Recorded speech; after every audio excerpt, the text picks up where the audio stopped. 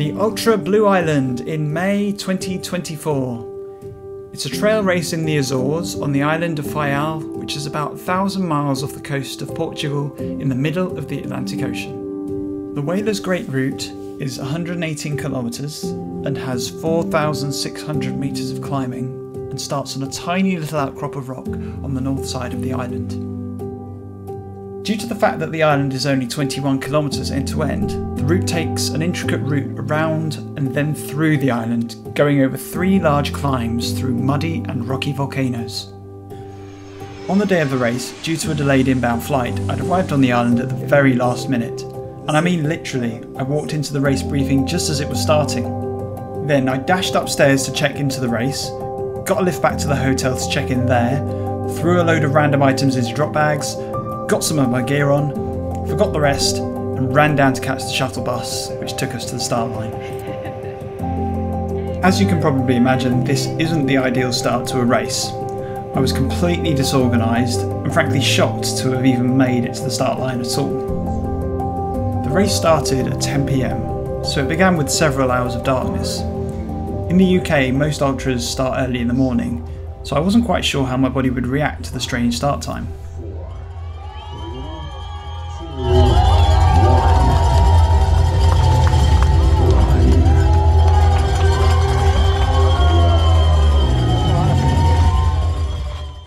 I really can't express just how excited I felt at this point. Despite the oddly surreal music, my total disorganisation, and the guy blowing a vuvuzela into my ear, I just couldn't wait to get started, see what was on the island, and find out what it feels like to run an island race like this. I've never run a race in a place as hilly as this, so it was a big unknown for me. Talking of statistics, the race has a time limit of 28 hours, but one of the reasons I decided to travel to do it because it's a Western States qualifier, and for that I needed to finish it in 26 hours. The winner finished in under 16 hours last year, and I was secretly hoping for an 18 or 19 hour finish. But really, I had no idea how long this thing would take me, or even if I'd finished at all. Additionally, at the race briefing, I'd learned that the race was to be cut short by about 8 kilometres due to some really bad weather that was forecast. I hadn't quite worked out what that meant for cut-off times or qualification times as I was too busy rushing around. Besides, I didn't really know anything about the course or the route anyway, so I just did my best to keep moving forward.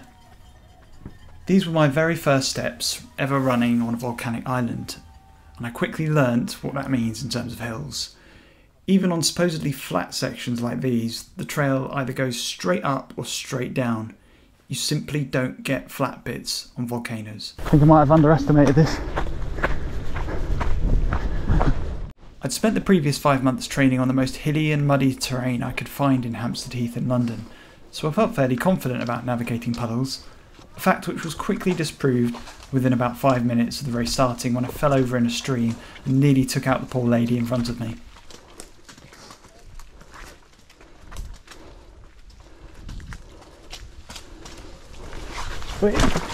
Oi, desculpa, desculpa. Opa, desculpa. Tá bem? I'm fine, thank you. Both my shoes ended up soaking wet, and they would end up staying that way for many hours. I was happy that there were supporters on the course and that they'd exchanged their angry vuvuzelas for some slightly more motivational cowbell. Anyway, despite the high winds, the weather was quite warm and humid, so it was easy to avoid getting cold. However, that would soon change, and it would have lasting consequences for me.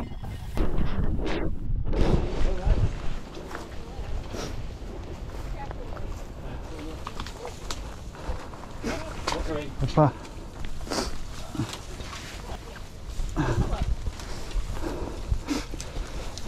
My break after two uh, bottom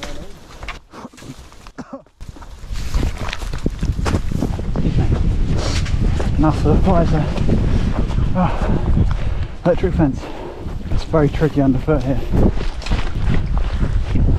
Oh, it's not an electric fence. A bunch of us just went off the course by only a few metres before we realised we'd gone wrong. Trying to see these markers, even though they've got reflective tape on them, can be tricky. Especially when they're in sort of knee-high grass. The ground underfoot is very, very uneven. It looks fairly soft and, and nice on, but it's it's all lumpy underneath. And uh, yeah, I mean, I can see a few twisted ankles here. If you're not careful.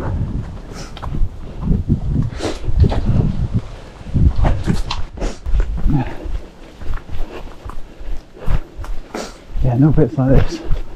Dead technical. Well, for me, it is anyway.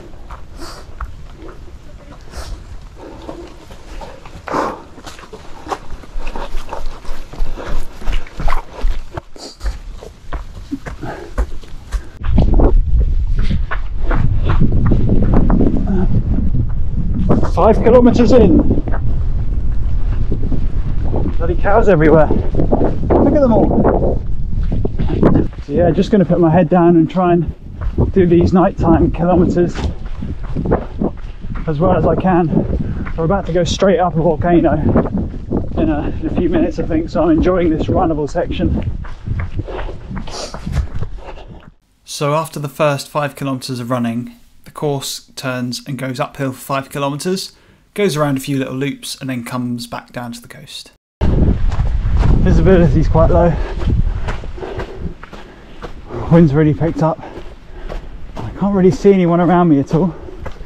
About 10 kilometres in, and uh, started to rain. And uh, yeah, just doing my best to keep an eye on these fluorescent flags. Because if I lose them, I'll be really stuck. Some proper tropical trails. Wow, look at this.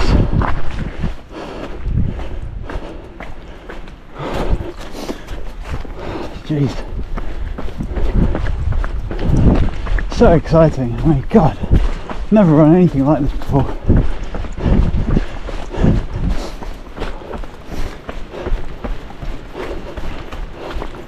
I, mean, I can't see anything around me, but it's just so cool just being here. One runs down. Oh, I feel great. I feel so good. Tw- only 12 kilometres done in nearly two hours, but I mean, if I keep this pace up for the whole race, I'd probably finish top 20. So I'd better cool it down a little bit. But I think the next two hills will probably sort that out for me. Holy shit, look at this. Wow. This tunnel is made of earth. And this would probably be breathtakingly beautiful if I could see anything.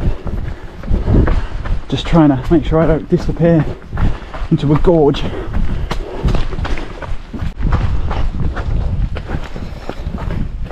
Alright, so I think we've just skirted round the top of the volcano. I can't really tell because I can't see anything.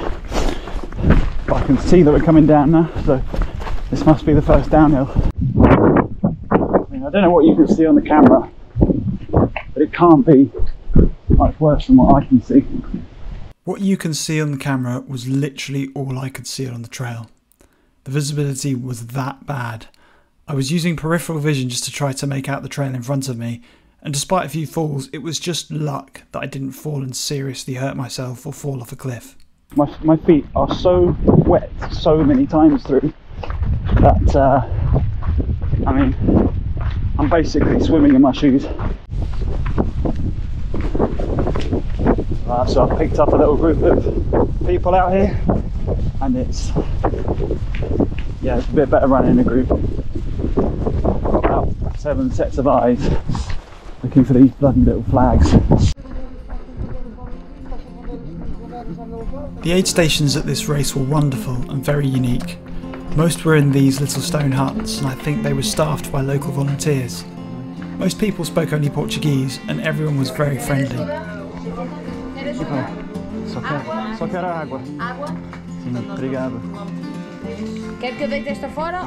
Here I thought she was asking if I wanted her to throw away my bottle, but she was just asking if she should throw away the water inside. Depois está aqui para te filmar, só para te filmar. Ah? Ah, obrigado. The local government funds this race as a way to help promote the island as an adventure destination. Only 65 people started the 118k race, so it's a really small event. But so many people came out in the middle of the night to offer help and support. I was trying to be really efficient at checkpoints by getting my bottles filled quickly, grabbing a few handfuls of food, and then leaving before I started to get cold.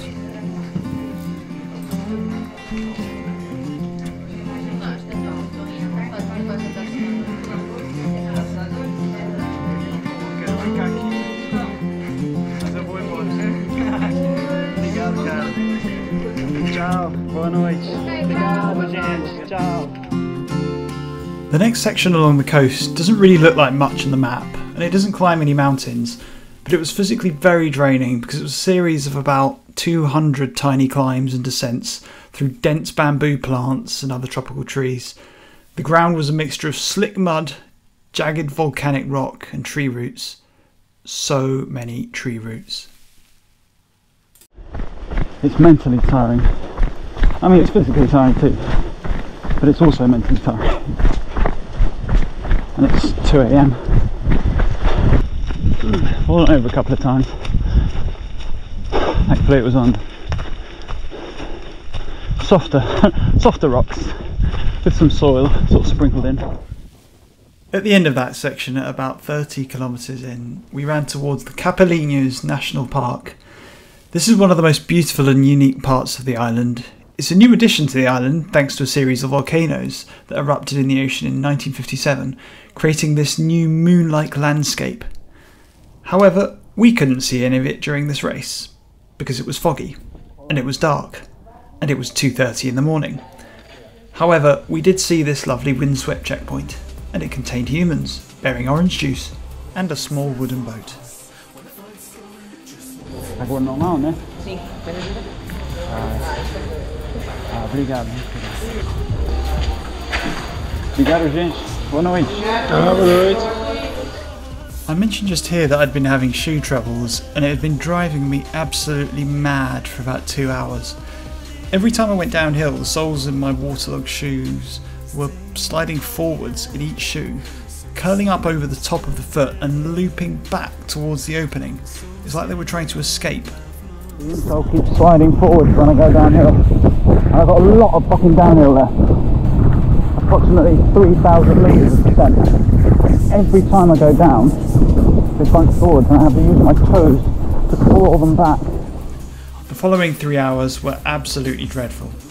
The rain was torrential, electric storms kept rolling in, the winds were about 60 kilometres an hour, and it was about 15 kilometres of uphill, with only 10 metres of visibility in front of my face due to heavy fog. It's quite heavy, heavy downpour at the moment. A little bit chilly. Every time I slowed down a bit, I started to get cold and shivery. I simply wasn't wearing enough. I was in shorts, t shirt, and a waterproof jacket. Too little for an exposed climb up a volcano in the conditions. I had to keep squeezing out my waterproof gloves and keep my hands tucked up my shirt to stop them from going numb. I seemed unable to eat enough calories to keep myself warm, yet the climb was too steep to speed up. I tried to increase the number of calories I was eating, but I started to feel sick, which slowed me down and made me cold again. This catch 22 was compounded by the fact that I couldn't hear myself think due to the wind. I started to despair. I really didn't enjoy this section. Bad luck, mate. Oof. 42 kilometres. First marathon done. Only two more to go, I think. Let's not think about that actually. Um, seven hours down, and uh, I am really focusing on the sunrise that is about to start any moment. Might be a while before we see it with this, with this fog, but I've had the sleep gremlins, I've had the dropout gremlins, I've had the I'm tired and I'm on holiday, I should be relaxing gremlins. Lots of uh, different voices coming up with very, very good reasons to uh, stop. Uh, the best reason not to stop, to be frank, is I would get hypothermia and probably die of exposure in about 20 minutes. So that's a good reason to carry on. And I do want to see the sunrise. I do want to finish this race. I want to see what this what this place looks like in the daylight.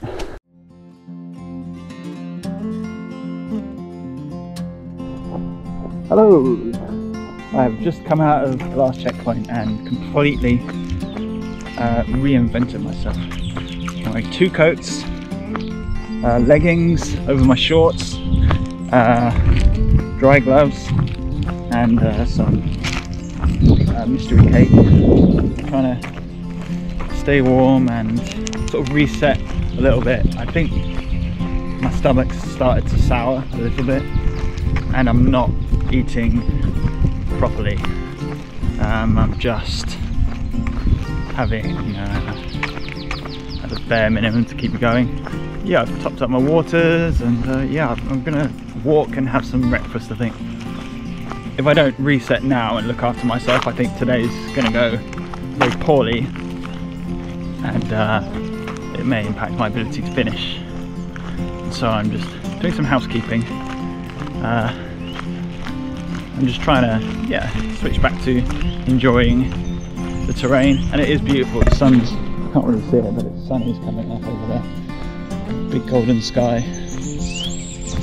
Uh, yeah, just a pretty nice place. It's, it's so nice to see what's around. I mean, oh, gosh, that weather on top. Oh, it was bad. Anyway, eight kilometers until I get my, my first kit bag. And I'm gonna grab a few bits from that as well. Some dry gloves, um, some other you know, know, sunglasses and all that. And yeah I'm just gonna reset again and uh, get ready for the day ahead. About 52 km which means nearly halfway. Uh, if I lie to myself I can say it's halfway. I knew from experience here that if I kept pushing I'd just run myself into the ground and end up feeling sick if I wanted to continue, I had to be smart for a change and slow down before I was forced to, eat and warm up. And it felt great. And the view wasn't bad either.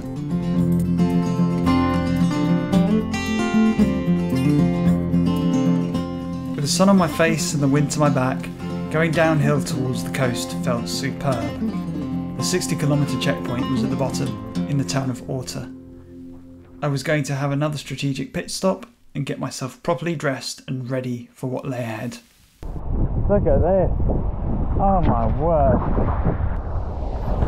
That is incredible.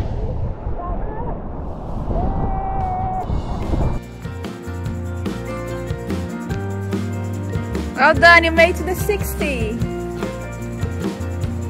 We arrived at the same time. How are you feeling? Good. Feeling alright I have your shoes. Thanks. I'm going to change everything. Feeding my legs.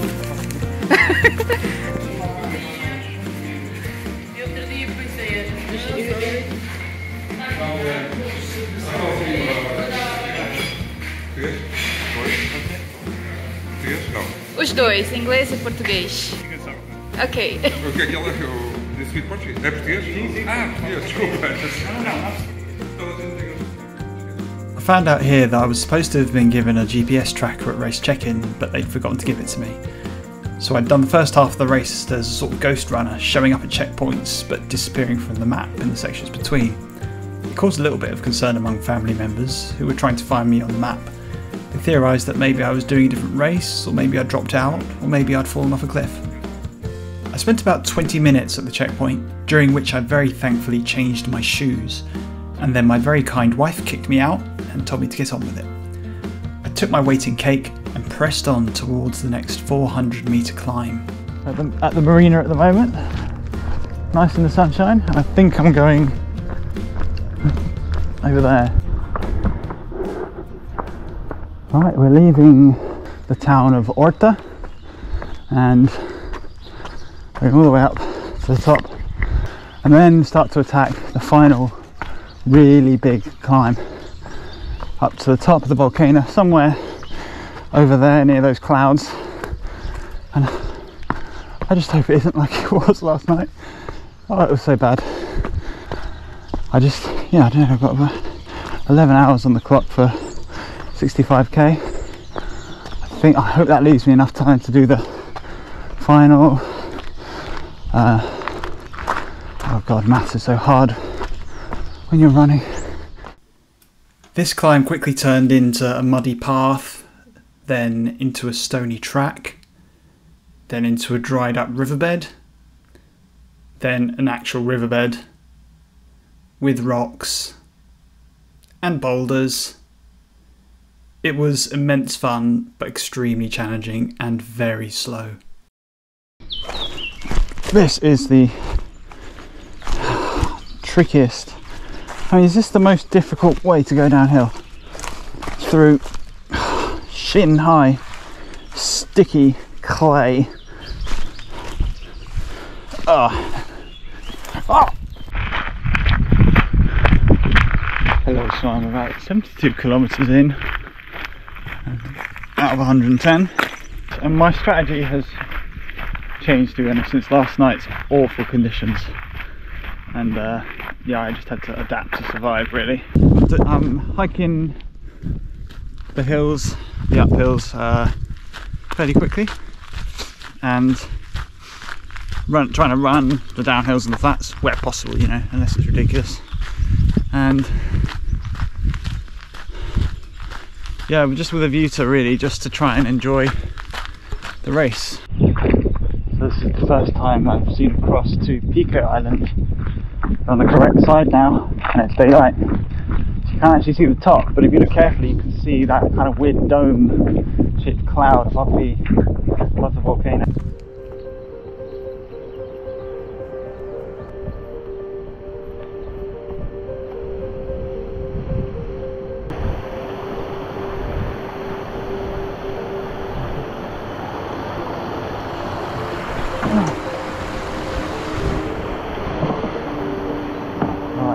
cool way to cross a river. Oh, I do fancy a dip. I think, I don't know, this is the last climb anymore. I've, I've probably stopped just guessing. I have to believe it's the last one, but it's probably better for my mental health if I tell myself it's the second last one. Ah, the joy of mobile phones. Unfortunately, it lasts for about 19 kilometers. Before we get to the top, I think there's another aid station, and I'm gonna smash 10 pints of Coke. This race has managed to destroy me gradually, and from very early on, not to the point where I had to drop out, it draws it out of you slowly. It's like being on the North Downs Way here. This is steeper, way steeper than Box Hill. Step is so so short and goes up so high. Well, this is called Ponta da Ribeirinha. I think it's an old lighthouse that was destroyed in an earthquake many years ago. This section is impossible. Oh my god. I don't know what you're supposed to do.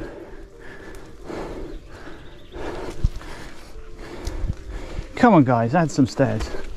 Oh, you know you like a good stair. Oh my lord.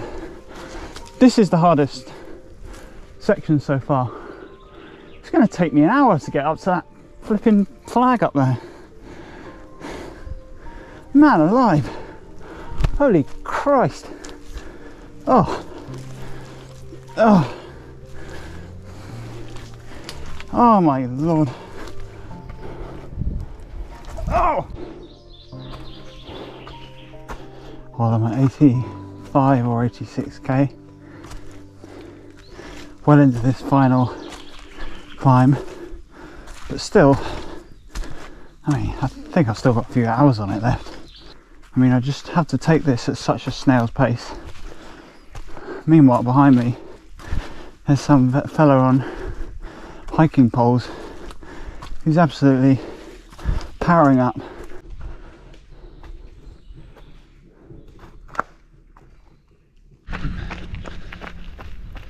So I'm finally above that horrible steep, slippery section. Ah, that has to be the most difficult part of today. Of physically difficult at least. The uh, early morning hours were mentally challenging in a different, very different and horrible way. So a little bit of road section. Check out my new waterproof gloves. Oh.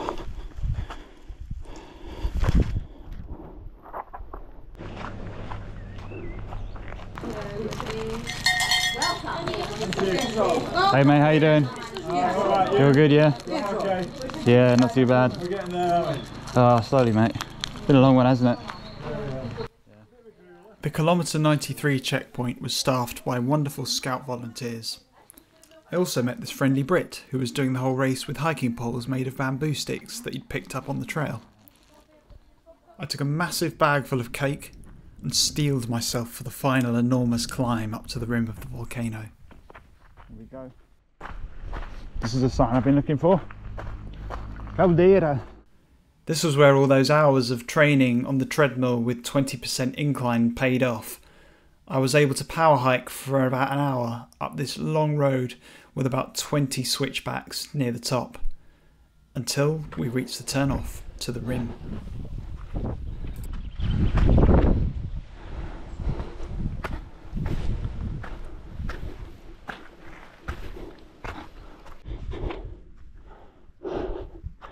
Well, here we are at the very top.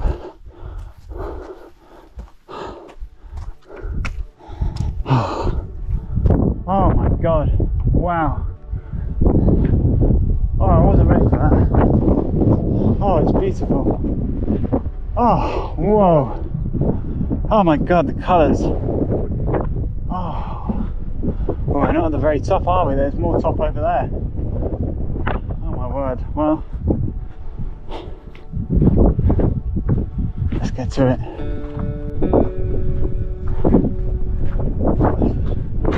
Long way down.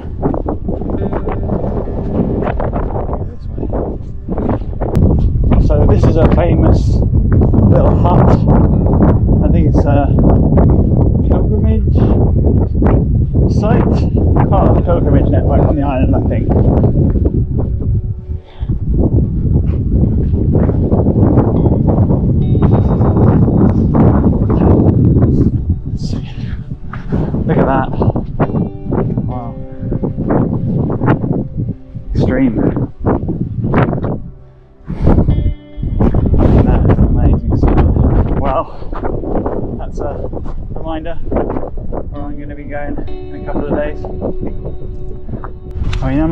With heights, but that's pretty terrifying to me.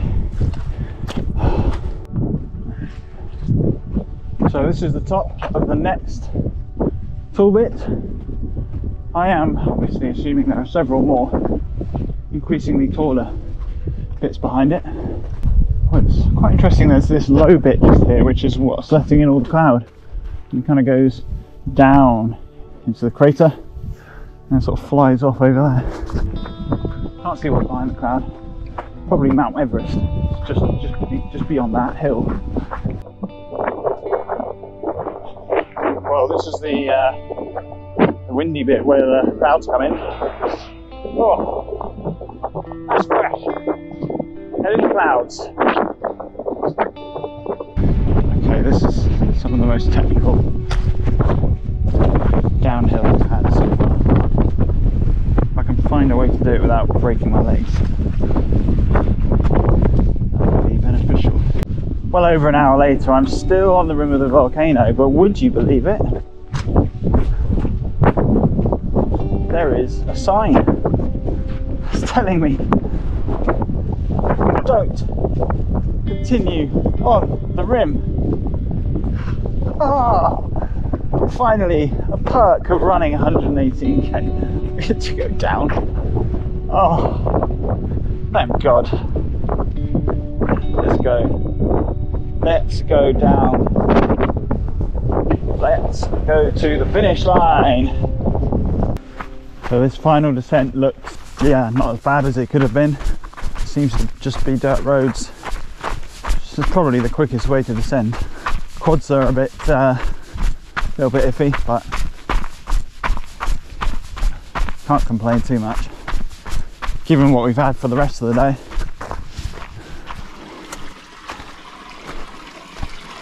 I remember this sort of trail from last night. I don't know if it's the same section. It's probably a completely different side of the island. But it's amazing. It's so unique with these rooty bits, muddy bits.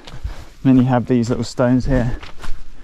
It's very cool. I mean, I could run it last night.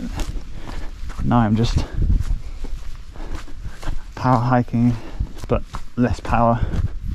To be honest, less hiking, just kind of strolling around at this stage. Wow, wow, look at that. Beautiful waterfall. Don't look down, he says, looking down. Well, bit of a problem. Got stuck in the mud. See if I can get my shoe out.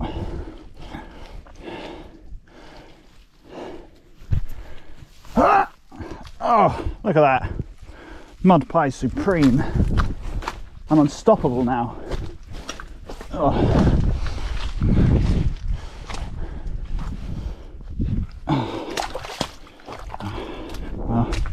Well, mud with mud. Bloody hell, this bit just goes on and on. As I finished the, the last climb, what is definitely the last climb, because that's the sound of the sea down there, which means three kilometres to go. Before I come into the finish, this wasn't the hardest race physically or mentally, but it did teach me something valuable. It's something I've known but never actually done, that it's okay to change the goal for the race. Uh, I started off wanting to really push hard the whole race and I misjudged the weather. Uh, you know, it went south there from me. But, you know, I said that I still wanted to do it. But I just changed the goalposts and just uh, didn't worry. So just kind of, I think that's just experience, really. Um, and I'm not a particularly experienced ultra runner like, like some people are, you know, with 30 or 40 years of experience of, uh, you know, insane ultras. And I do about one a year, and I've done it for about 10 years. And uh, it feels nice to kind of, yeah, to have learned something and be able to save my day and have some perspective and know that later I'd probably feel okay. And yeah, I'm really pleased about that. It's been tough, for sure. The final descent was as slow as anything I'd done all day, but despite how tired I was, I was still able to run the final kilometre to the finish. Oh, Kris Peters, Father New, Father Woodson, 118k, Whalers Great Route, Kris Peters.